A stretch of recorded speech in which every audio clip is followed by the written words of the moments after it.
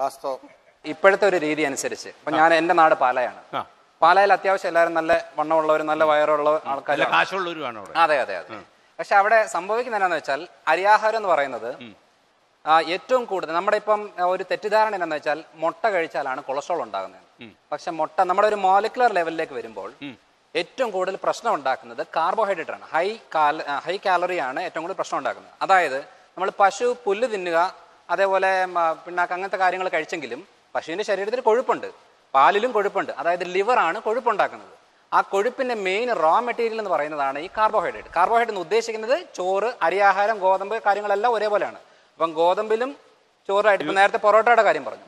പൊറോട്ട എന്ന് പറയുന്ന പൊറോട്ട ഒട്ടുന്നതാണ് പോസ്റ്റർ ഒട്ടിക്കുന്നത് എന്നൊക്കെ പറഞ്ഞു. പക്ഷേ ഈ പൊറോട്ടയുടെ പ്രത്യേകത എന്താണെന്ന് വെച്ചാൽ അരിയും ഒട്ടുന്നൊരു സാധനമാണ്. സ്റ്റാർച്ച് ആണ് അതിന്റെ ഒരു ഒട്ടുന്ന ഒരു ക്യാരക്ടർ ഉള്ളത്.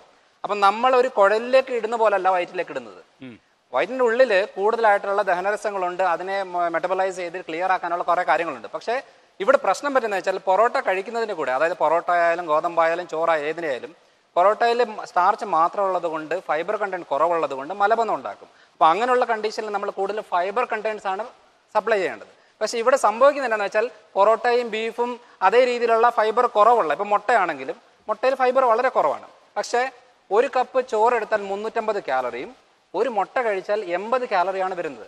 അപ്പം നമ്മൾ ബോഡിയിലേക്ക് ഫാറ്റ് സപ്ലൈ ചെയ്യണം. ഇപ്പോൾ ഏറ്റവും കൂടുതൽ കൊളസ്ട്രോൾ ഉണ്ടാകുന്നതും ഏറ്റവും കൂടുതൽ വയറ് ചാടുന്നതും ഏറ്റവും കൂടുതൽ വെയിറ്റ് വെക്കുന്നതും ആ വാദപ്രശ്നങ്ങളും എല്ലാം ഹൈ കാലറി ഡയറ്റാണ് പ്രത്യേകിച്ചും ചോറാണ്. അപ്പോൾ ചോറിന്റെ അളവ് കുറച്ച് വെച്ച് കറികൾ കാര്യങ്ങൾ അങ്ങനത്തെ രീതിയിൽ കൂട്ടിയെങ്കിൽ മാത്രമേ ആ ബോഡി ഒന്ന് മെയിന്റെയിൻ ചെയ്യാൻ പറ്റത്തുള്ളൂ. ഡോക്ടർ ഒരു സ്പെഷ്യലിസ്റ്റ് അദ്ദേഹം- പറഞ്ഞ ഒന്ന് രണ്ട് കാര്യങ്ങളോട് ഞാൻ യോജിക്കുന്നു.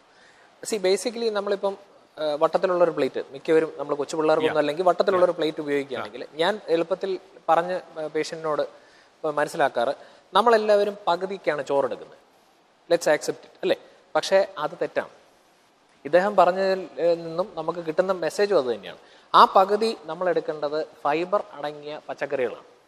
ഓക്കെ ഇറച്ചി മീന് മുട്ട ഇതിനോടൊന്നും എനിക്ക് എതിർപ്പില്ല. പ്രശ്നം ഇതിന്റെ പ്രപ്പോർഷൻ വൺ ഫോർത്ത് ആകാനേ പാടുള്ളൂ. ഒരു നുള്ളേ നെയ്യ് പാടുള്ളൂ. ആ വൺ ഫോർത്ത് ആയിട്ടുള്ള ബാക്കി ഭാഗത്തെ കാർബോഹൈഡ്രേറ്റ് അന്നജം വരാൻ പാടുള്ളൂ. ഇത് നേരെ തിരിയുന്നതും ഈ നാല് കഷ്ണമാക്കി നമ്മൾ ഡിവൈഡ് ചെയ്ത് ചോറ് പകുതിയും ബാക്കിയുള്ളതെല്ലാം കഷ്ണ കഷ്ണങ്ങളായിട്ട് വരുമ്പോഴാണ്. ഒന്ന്. രണ്ടാമത്തെ പ്രശ്നം മീറ്റ് അല്ല പ്രശ്നം മുട്ടയല്ല പ്രശ്നം മീനല്ല പ്രശ്നം. ആ ഗ്രേവിയാണ് പ്രശ്നം. എല്ലാവരും വിചാരിക്കും ഇതെല്ലാം കൂടെ കഴിച്ചിട്ടാണ് കൊളസ്ട്രോൾ കൂടുന്നത്. അതിനകത്തുള്ള എണ്ണയും അതിന് പ്രിപ്പയർ ചെയ്യാൻ ഉപയോഗിച്ച ബട്ടർ ചിക്കൻ ഒരു കഷ്ണം ചെറിയൊരു പീസ് ചിക്കൻ എടുത്തിട്ട് ബാക്കി മുഴുവൻ ഗ്രേവി എടുത്തിട്ടുണ്ട് എന്ത് കാര്യം? ഒരു കാര്യം ആ gravy is again high calorie അല്ലേ? ഇപ്പം ഹോട്ടലുകാരുണ്ട് അവർക്കറിയാം അത് എന്തുമാത്രം ഇതിലാണ് അത് കുക്ക് ചെയ്യുന്നത് മൂന്നാമത്തെ പ്രശ്നം ഇപ്പം ഞാൻ തന്നെ സാറിനോട് ചോദിക്കുക നമുക്കിപ്പം ചർച്ച തുടങ്ങി. കുറച്ച് കഴിയുമ്പോൾ ഇവിടെ ഒരു പഴംപൊരി കൊണ്ടുവെക്കുക അതിന്റെ കൂടെ കുറച്ച് അരി അരിയുണ്ട കൊണ്ടുവെക്കുക ആ അരി അരിയുണ്ട ഒരെണ്ണോ രണ്ടെണ്ണോ ഇവിടെ ഉള്ള ആൾക്കാർ എടുക്കുന്ന ആളുടെ എനിക്കറിയാം. അവരെടുക്കുമായിരിക്കും. ബാക്കി മുഴുവൻ പഴംപൊരി ചൂടപ്പം പോലെ തീരും. അപ്പം വറുത്ത ആഹാരങ്ങൾക്ക് രുചി കൂടുതലാണ്.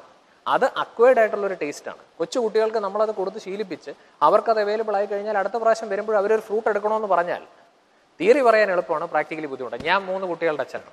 അപ്പം ഞാൻ ആദ്യം കണ്ടിരുന്നതെന്ന് പറഞ്ഞാൽ ഇപ്പം നമ്മൾ ഏറ്റവും എളുപ്പം എന്ന് പറഞ്ഞാൽ വൈകുന്നേരം കുട്ടികൾ വരുമ്പോൾ ഞാനും വൈഫും ഡോക്ടറാണ് അപ്പം കുട്ടികൾ അവിടെ ഉള്ളപ്പോൾ മെയ്ഡ് എന്ത് ചെയ്യും? ബിസ്ക്കറ്റ് അവിടെ കൊണ്ടുവെക്കും പിള്ളേർ ഉടനെ ചായയുടെ കൂടെയോ പാലിന്റെ കൂടെയോ കഴിക്കും. ആ ബിസ്ക്കറ്റ് പലപ്പോഴും പ്രശ്നം എന്ന് വെച്ചാൽ പിന്നെ രാത്രി ഭക്ഷണം കഴിക്കാൻ വിശപ്പില്ല. ഒന്ന്.